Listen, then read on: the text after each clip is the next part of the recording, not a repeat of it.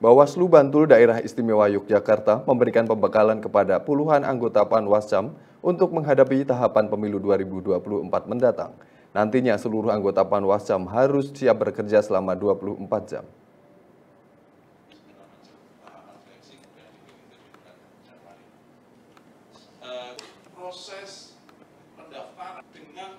Anggota Panwascam yang dilantik ini terdapat 51 anggota, mereka menjalani pembekalan selama tiga hari, terdiri dari 37 anggota laki-laki dan 14 anggota perempuan. Ketua KPU Bantul, Didi Joko Nugroho, menyampaikan materi dengan memaparkan tahapan pemilu yang sudah berjalan.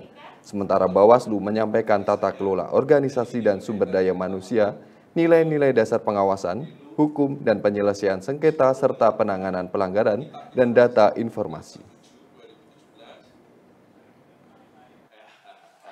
Ada di keputusan KPU RI nomor 21 tahun 2000. Jadi kemarin kan habis. Jadi siklus Februari, November. Langsung akan memberikan uh, pembekalan ataupun bimbingan teknis.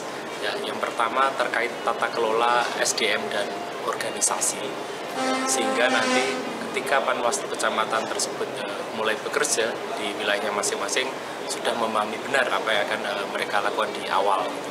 Kemudian setelah itu nanti uh, ada materi yang akan disampaikan oleh Bapak Ibu Komisioner yang lain nanti terkait dengan nilai-nilai uh, dasar pengawasan pemilu